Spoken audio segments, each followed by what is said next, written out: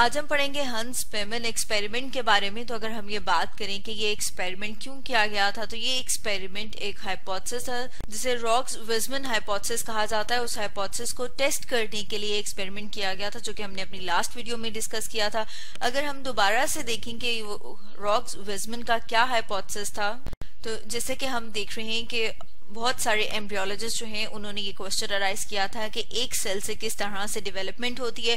एक सेल से किस तरह से एक मल्टी सेलुलर ऑर्गेनिज्म बनता है तो उसको बताने के लिए जो साइंटिस्ट है रॉक्स वेस्टमैन उसने ये हाइपोथेसिस दिया था कि जब सेल डिवाइड होते हैं, जब वो तकसीम होते हैं, एक से दो होते हैं तो साथ साथ उनका जो जेनेटिक मटीरियल जो वरासती मवाद है, वो भी डिस्ट्रीब्यूट होता जाता है। मतलब ये कि हर सेल के पास एक जैसा वरासती मवाद जेनेटिक मटीरियल नहीं आता, बल्कि वो क्या होता होता जाता है, वो स्मॉलर से स्मॉलर होता जाता है और फिर एंड पे जो सेल्स रह जाते हैं, उनके पास सिर्फ़ वही जेनेटिक मटेरियल है जो कि उनको चाहिए। जैसे कि फॉर एग्जांपल हम बात करें कि अगर कोई ऐसे सेल्स हैं जिन्होंने आई का स्ट्रक्चर बनाना है तो उनके पास सिर्फ़ और सिर्फ़ वो वाला जेनेटिक मटीरियल या वरासती मवाद होगा जो कि सिर्फ़ और सिर्फ़ आई के स्ट्रक्चर के बनाने के लिए होगा। बाकी का जो जेनेटिक मटीरियल या वरासती मवाद है, वो उन सेल्स के पास प्रेजेंट नहीं होगा।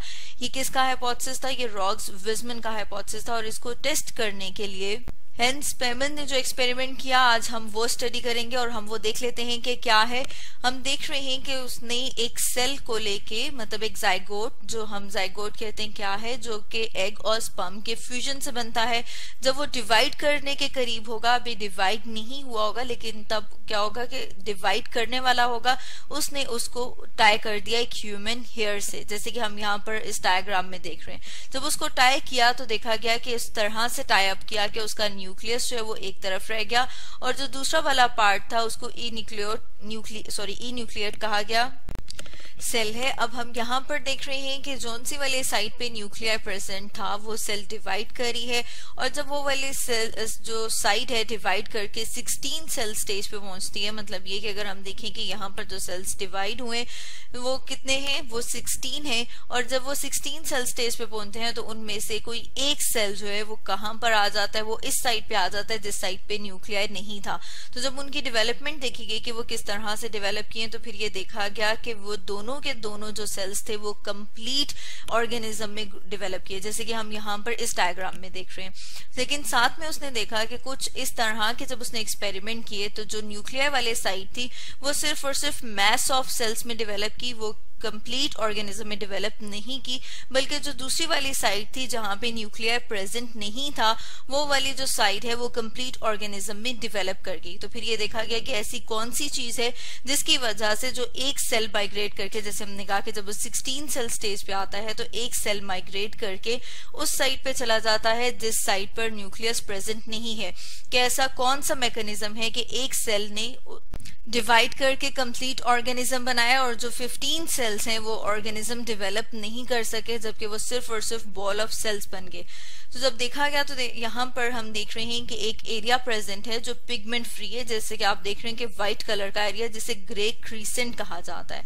जब ग्रे क्रीसेंट दोनों साइड्स पे प्रेजेंट होगा, जब उसको टाई किया जाता है हेयर से, अगर वो दोनों साइड्स पे प्रेजेंट है तो फिर वो क्या करेगा? फिर वो दोनों के दोनों सेल्स जो हैं, वो डिफ्रेंशिएट हो जाते हैं, वो डिवेलप करते हैं कंप्लीट ऑर्गेनिजम्स में।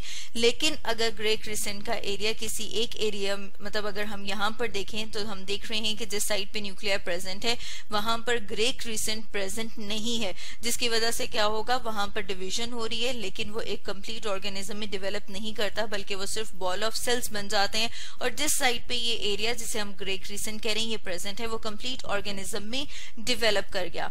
तो उस, अगर हम बात करें कि हेंस पेमन ने अपने एक्सपेरिमेंट से क्या कंक्लूड किया, उसने क्या नतीजा निकाला तो जो पहला पॉइंट नज़र आया वो ये कि सारे के सारे सेल्स जो डिवाइड करते हैं, उनके पास सेम जेनेटिक मटेरियल मतलब ये कि सेम वरासती मवाद मौजूद है, क्योंकि जब हमने ऊपर बात की, हमने देखा कि जब वो 16 सेल स्टेज पे होता है तो उसमें से एक सेल इस तरफ़ आ जाएगा और उस एक सेल के आने की वजह से यहाँ पर भी रैपिड डिविजन स्टार्ट हो जाती है और वो ग्रो करता है और वो डिवेलप करता है।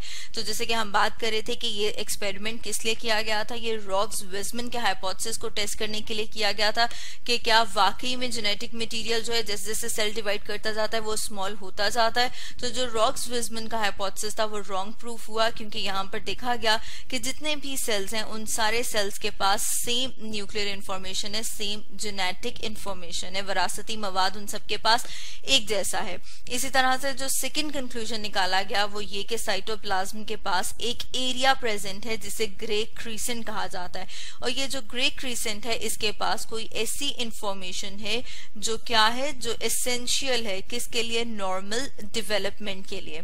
तो जैसे कि अभी हमने ऊपर भी देखा था कि जिस एरिया में, जिस पार्ट में ग्रे क्रिसेंट प्रेजेंट था, वहाँ पर डिवीज़न हो रही थी और जिसमें वो प्रेजेंट नहीं था ग्रे क्रिसेंट प्रेजेंट है, वो वाला जो पार्ट है, वो वाला जो एरिया है, वो कंप्लीट ऑर्गेनिज्म में डेवलप कर गया। तो आज हमने क्या स्टडी किया? आज हमने स्टडी किया हेंस एक्सपेरिमेंट को।